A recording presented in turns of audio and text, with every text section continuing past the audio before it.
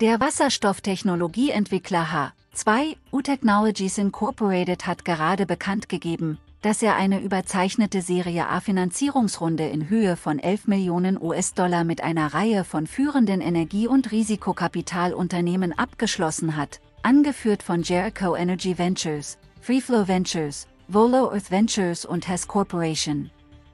Das Unternehmen entwickelt neue grüne H2-Technologie in Form innovativer Elektrolyseur-Designs. H2O hatte bereits 2021 eine erste Tranche der Serie A-Finanzierung in Höhe von 7 Millionen US-Dollar aufgebracht, die auch von Jericho sowie Hess, Doby Family Ventures und Modus Ventures geleitet wurde.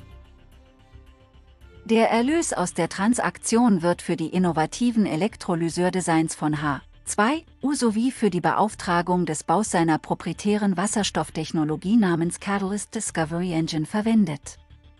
Das CDE ist eine Million Mal schneller als herkömmliche Katalysatorentdeckungsverfahren. Es wendet künstliche Intelligenz zur Identifizierung von PEM-Katalysatoren von Nicht-Platingruppenmetallen an. Das Team wird von Dr. Nathan Lewis, dem leitenden wissenschaftlichen Berater von H2U und Professor für Chemie am California Institute of Technology, geleitet. Die CDE-Wasserstofftechnologie wurde von mehr als 50 PHDS bei Caltech entwickelt. Die PHDS stammten alle vom Joint Center for Artificial Photosynthesis bei Caltech und wurden mit 120 Millionen US-Dollar vom US-Energieministerium finanziert. Dr. Lewis und der Präsident und Chief Executive Officer von H2U, Mark McGough, leiten das Projekt, arbeiten jedoch mit einem erfahrenen Team zusammen, zu dem viele andere PhD-Experten gehören. H2U ist führend bei der Entwicklung von Technologien, die erforderlich sind, um die globale Energiewende voranzutreiben.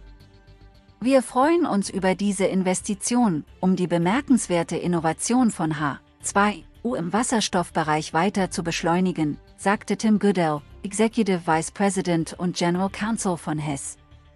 Die Identifizierung effizienter und erschwinglicher Katalysatoren für die Elektrolyse von grüner Wasserstofftechnologie wird von vielen als ein Schlüsselziel angesehen, um sicherzustellen, dass H2 eine erschwingliche CO2-emissionsfreie Alternative zu fossilen Brennstoffen sein wird.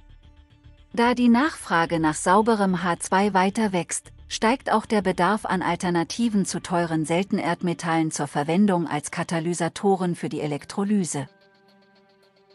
Vielen Dank, dass Sie sich für hydrogenfuelnews.com entschieden haben.